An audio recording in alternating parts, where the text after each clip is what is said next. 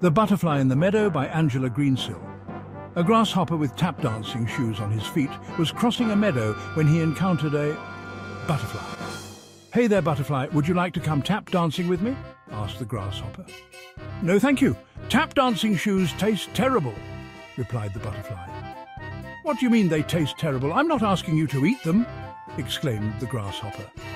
No, but I taste everything with my feet. That's why butterflies don't wear shoes, explained the butterfly. The grasshopper became curious.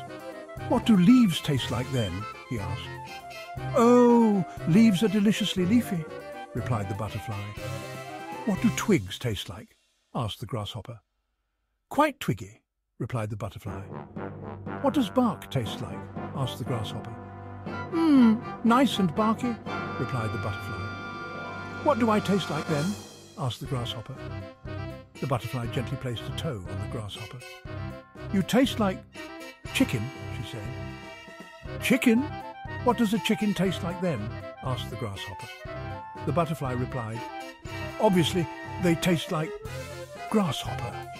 The grasshopper laughed and laughed and bounded off to meet his other tap dancing friends, quite amused by his encounter with the butterfly in the meadow. The end.